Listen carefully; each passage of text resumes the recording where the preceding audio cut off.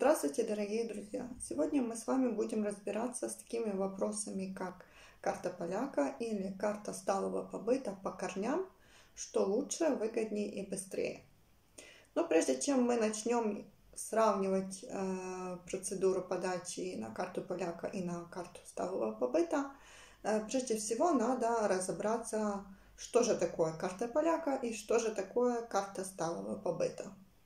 Что такое карта поляка, вся процедура подачи, кто ее может получить и какие условия получения, я рассказывала в своем первом видео. Ссылку я вам оставлю в описании или же где-то, где-то, где-то тут, не знаю, с этой стороны или с этой, где-то будет ссылочка. Поэтому я на этом не буду останавливаться и расскажу о карте сталого побыта. Карта сталого побыта от э, польского побут сталый, постоянное проживание. Одна из разновидностей карт побыта, дающая право человека проживать на ПМЖ на территории Польши. Также карта сталого побыта – это один из последних уровней перед получением э, гражданства Польши. И карта сталого побыта выдается на бессрочный срок – но сам пластик имеет срок годности, и это 10 лет. Через 10 лет его можно заменить. Замена пластика стоит 50 злотых. Человек, имеющий карту сталого побыта, имеет те же права, э, что и гражданин Польши, кроме права брать э, участие в выборах. И главное, обладатель карты сталого побыта – может с легкостью а, подавать на гражданство через президента Речь Посполитой или же через воеводы. Кто же имеет право получить карту сталого побыта?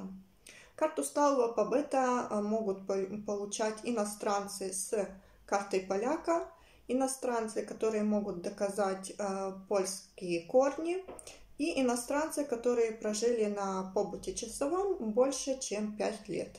Польша. И я подробнее остановлюсь о карте сталого побыта по корням.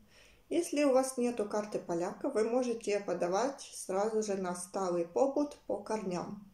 Для этого вам нужно доказать, что один из ваших родственников, мать или отец, бабушка или дедушка, или же прабабушки, прадедушки, были гражданином Польши. Во всем остальном полный пакет документов будет аналогичный, как и на карту поляка, Кроме одного момента, вам надо будет еще заплатить э, гербовый сбор в сумме 640 злотых и к документам доложить чек о оплате. Также вам надо будет пройти собеседование, и собеседование очень также похоже, как и на карту поляка.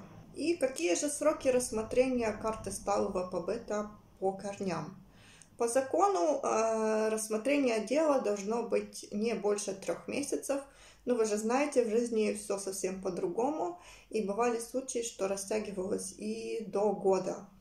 Как в идеале выглядит э, подача на побыт сталый?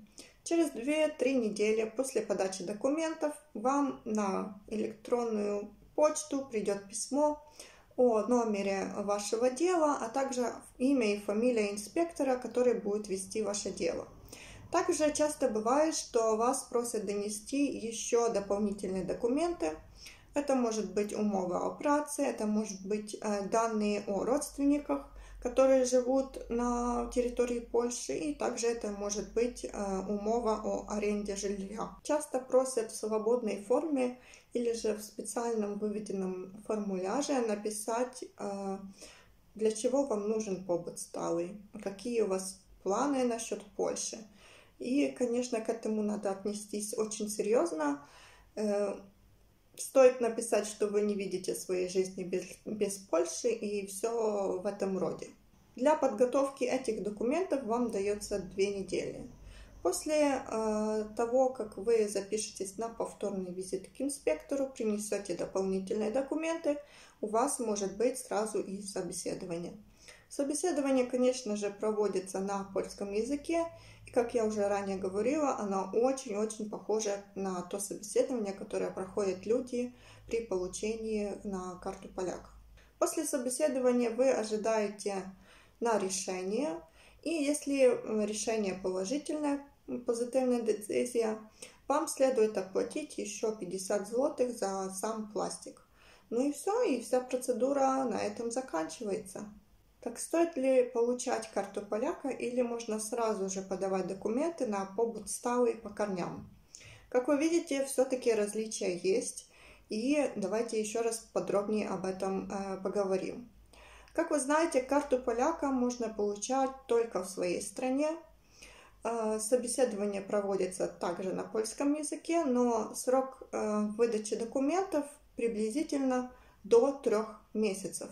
И получив э, карту поляка, впоследствии при подаче на побут сталый у вас э, очень много э, бонусов. Это упрощение оформления документов, так как дополнительной проверки ваших документов, ваших польских корней уже не нужно. До этого это уже сделали. Это финансовая помощь, как вы знаете, это приблизительно до 900 злотых в месяц. И также отсутствует гербовый сбор в сумме 640 злотых.